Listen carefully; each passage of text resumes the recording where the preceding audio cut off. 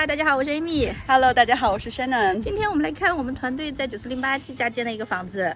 那这个房子的话是 Sunnyvale 顶级社区 West Valley Elementary and Homestead High 的房子。然后待会儿我们会带大家看一下这个社区，其实真的非常好，包括这条街，对对这一整条街都是一万尺 lot size 的这个房子。对，特别好一个地方，就是我们要看的这个家建的项目，就是后边这个绿色围起来的里边。然后我们会先带大家看一下社区啊，我跟 Amy 走一下，然后看一下这个社区，然后我们再走到工地里面去看一下。好，好，走吧。这条街。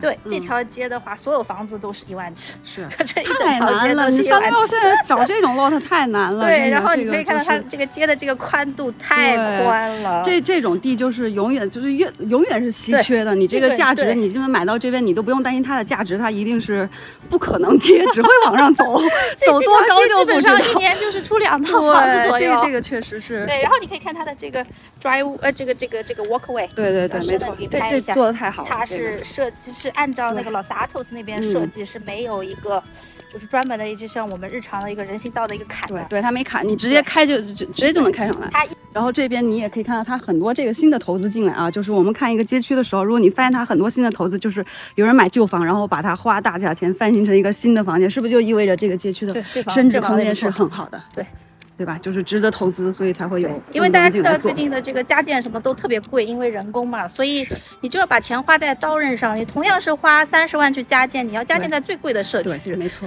如果你说你加建在就是比较便宜的 Fremont 这一些社区，其实对我觉得这个性价比没有这边高。对对对当然这个也考虑到大家的一个 budget。对对对，行，咱走吧，就看一下这个，这个这个木板是要要做 framing，做 framing 的，对我们现在已经要做 framing 的阶段。上周四是，呃，刚刚 pass 了那个 on the framing 的这个检查。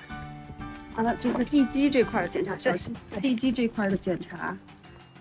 那他是会把这个全部拆掉，只剩下本身的这个吗？还是对，这个外墙要全部的拆掉。然后留下它本身的结构，然后自己再去，哦，咱们会自己去重新按那个图纸重新做。我们看它改的地方，这一块是加出来的嘛？对，加出来的一个 family room。然后 framing 检查之后，然后再是做这个 pipe plumbing 这一批。哦，也要那个检查过了之后再开始做 pipe。对，就是每一步它都会有检查，检查过了你才可以往下做下一步。那我们先看看一下这个 lot 好了。嗯，这个 lot 是一共有，呃，九千九千二十五尺。那这个社区比较大的那种 lot 类型，那这个位置呢是 Sunnyvale 的 West Valley 社区，是 Sunnyvale 最好的社区，嗯因为它毗邻 Los Altos 嗯，呃，它的学区也很好，West Valley 的 Elementary，再加上 Homestead High。那这个社区有一个特点，就是说它大部分的房子的 lot 基本上都在八千尺以上。对，你看 Sunnyvale 其他社区的房子其实没有这么一个状态，那这个社区大部分的对对没 lot 错都是七千八就或者八千。那像这种一万尺的话，就是属于比较稀缺的嗯一个户型。嗯当然，它也有一万两千尺、一万三千尺。没错。对，这个社区是非常 desirable，而且大家非常非常的喜，欢。房源特别少，对房源很少很难出来一个像这条。街的话，就是基本上一年也就出个 两个房源左右。但是它那个里面的话，有一部分它是 cross，它是没有 cross space 的，所以会比较麻烦。它那一部分是纯水泥的地基，它那个 family room 那一块、哦不是很好，哦，我以为这一片的房子都是有 cross space 的，没有。纯水泥的那个动起来很麻烦，很麻烦，你要。对，你要把这个什么，尤其是管道埋啊，什么都不好。所以我一般就是跟客人说，除非你不打算再做加建，不打算动户型了、嗯 o t h e r w i s e 你就是尽量这个这个纯水泥的还是挺麻烦的。而且这个房子还有个特点是，它是双 driveway 的，这边有一个 driveway，这边是可以车子完全开过来。我们可以去那边看一下，那边也是 driveway，、所以它是双 driveway 的。这个是 temporary pole，就是如果说我们这边的电表到时候拆墙，嗯全部都挂了的时候，就要按找这个 temporary pole 来供电。那这个 temporary pole 呢，它这个 permit 已经下来了，但是 PG&E 还没有把它。连起来，这个 PG&E 的这个时间是非常久的。现在我们做 Express Connection，差不多还要一个半月到两个月左右。对，PG&E 我觉得有时候真的是一个 blocker。到时候我们会把这个地方铺一个 driveway 出来。对，我们会铺一个 driveway 出来，那就是双 driveway，非常非常的漂亮。的 side yard 非常的 impressive，两边都是 side yard。对但是也有人说，就是说，会稍微有一点浪费。对，对，但 it's okay，这个地特别特别的大。对，不是有些房子那个两边的这个太窄了，之后跟邻居隔得太近了，你那个对你这就没有那么一个问题，就是说这个房子是朝北的，但是因为它的塞的压的非常的大，嗯，所以它这个北面很亮，很亮，对不挡光，对。一点都不挡光。对，没错。哎，Amy 这一块这个凸出来的这块是哦，因为这个主卧的大小不够不够 luxury，所以就是这个主卧这一部分，哦。我们这到时候也会拆掉，这个电表也会拆掉，所以这个嗯。主卧会往外拓宽一点。就是拓宽这个，距离，对吧？这么一点哦。距，离。这个主卧朝里边也特别好，这样的话它就不朝不临街对，是对着自己家后院的。对，从那边进，小心点，从那边进。就是这个工地要特别小心，有很多的是，我昨天过来看的时候，那个里边地板它把它取出来就很多钉子，超多钉子。超多，所以要非常小心。已经疯狂拔过的，对，都是竖起来的，所以要很小心。就只在那边打钉子，是的，哦，可麻烦可麻烦了。所以这堵墙我们是要把它拆掉的，对吧？就跟这个 family room 完全打开。对，嗯。好，这个地方是厨房，它，原本是厨房，但是本也厨房，现在也对是厨房。对，我们把它就是打打算打通，然后整个一个对然后这边就是非常一个 open 的一个设计嗯。好，咱们做这个地基能看到，就是它是把整个房子抬起来的，然后这样的话，其实对这个房子保护也是比较好，比较不容易受潮呀，是吧？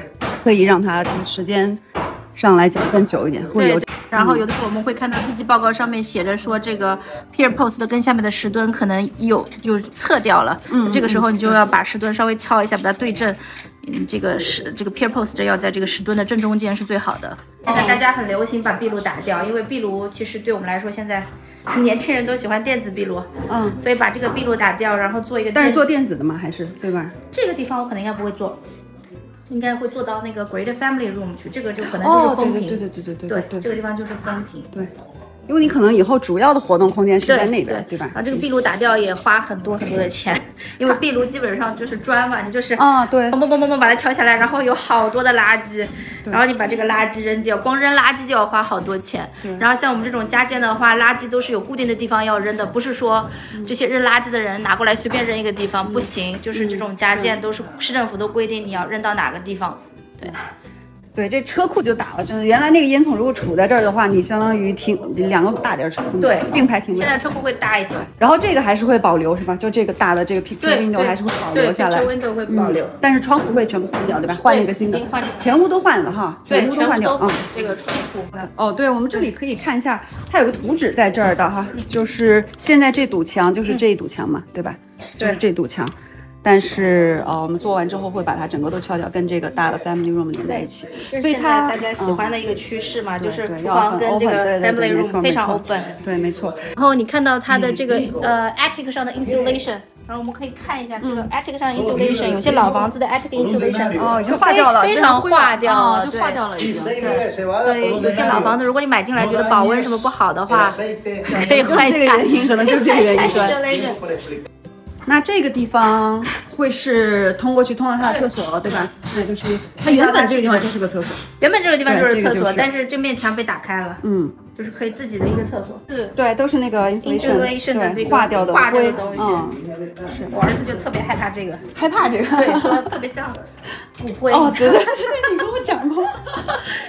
那那这种 insulation 一般它可以用多久多少年呢？变成这个样子，就失去效果之前可以用多久呢虽然？十五年、二十年的这个样子，15年20年对，老房的那种窗，它的高度都是按照现在的扣度都是不符合现在扣的。对对对对，特别高这个问题，对所以会把它就是打打开一点，对吧？而且打开的话，采光就会更好。对，按照现在的这个扣的，它是需一个逃生窗，那逃生窗的高度是有规定的，没有这么高，你要尽可能的低，你才可以逃出去。我的墨镜掉了，Thank you so much。他们搞得还挺快的呀。非常快。我昨天来的时候，他都没有拆完这个墙，然后里面也没有，对，还挺快的。好，那我们今天就差不多看到这儿。